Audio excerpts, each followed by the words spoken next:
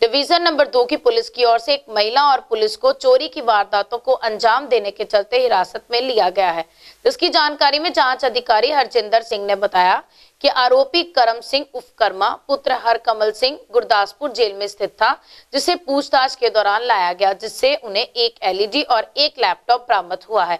जबकि उसकी सास के बिल्लो देवी के घर से उन्हें दो एलईडी मिली हैं। उन्होंने कहा कि इन दोनों लोगों पर अलग अलग जगह पर मुकदमे जो है वो दर्ज हैं जिन्हें हिरासत में लेकर उन्हें पूछताछ शुरू कर दी है ਭੋਗਪੁਰ ਥਾਣੇ ਫੜਿਆ ਗਿਆ ਸੀ ਇਹਦੇ ਖਿਲਾਫ ਉੱਥੇ ਮੁਕੱਦਮਾ ਨੰਬਰ 6 ਬਟਾ 21 ਦਰਜ ਹੋਇਆ ਸੀ ਚੋਰੀ ਦਾ ਤੇ ਗੁਰਦਾਸਪੁਰ ਜੇਲ੍ਹ 'ਚ ਪ੍ਰੋਟੈਕਸ਼ਨ ਵਾਰੰਟ ਤੇ ਲਿਆਂਦਾ ਸੀ ਇਹਨੂੰ ਇਹਨਾਂ ਦੌਰਾਨੇ ਪੁੱਛਗਿੱਛ ਫਰਦ ਨਿਕਸ਼ਾਫ ਕੀਤਾ ਵੀ ਜਿਹੜੀਆਂ ਮੈਂ ਚੋਰੀਆਂ ਕੀਤੀਆਂ ਇਹਨਾਂ ਤਿੰਨ ਐਲਸੀਡੀਆਂ ਤੇ ਇੱਕ ਲੈਪਟਾਪ ਤੇ ਲ- ਵੱਖ-ਵੱਖ ਦੁਕਾਨਾਂ ਦੇ ਜਿਹੜੇ ਅਹ, ਤਾਲੇ ਤੋੜ ਕੇ ਰਾਤ ਦੇ ਸਮੇਂ ਪੈਸੇ ਕੱਢ ਕੇ ਚੋਰੀ ਕੀਤੇ ਸੀ ਉਹਦੇ ਖਿਲਾਫ ਪ- ਪਹਿਲਾਂ ਹੀ 175 ਬੜਾ 20 ਮੁਕੱਦਮਾ ਸਾਡੇ ਕੋਲ ਦਰਜ ਹੈ 457 380 ਦਾ।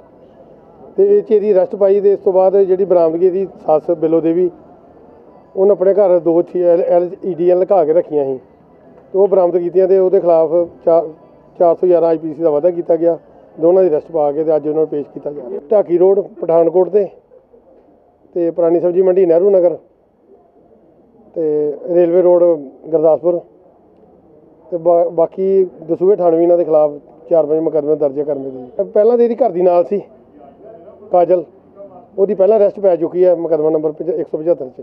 ਕੰਮ ਬਸ ਇਹ ਚੋਰੀਆਂ ਦਾ ਹੀ ਹੈ ਪਹਿਲਾਂ ਵੀ ਇਹਦੇ ਖਿਲਾਫ ਕਾਫੀ ਮੁਕੱਦਮੇ ਦਰਜ ਨੇ। ਚੋਰੀ ਦਾ ਸਮਾਨ ਬਸ ਵੀ ਭਈਆਂ ਨੂੰ ਦੇ ਦਿੰਦਾ ਜਿਹੜੇ ਘੱਟ ਪੈਸੇ ਤੇ। ਰਿਕਵਰੀ ਚ ਕੀ ਕੀ ਆਇਆ ਸਰ? ਤਿੰਨ ਐਲਈਡੀ ਆਈਆਂ ਜੀ।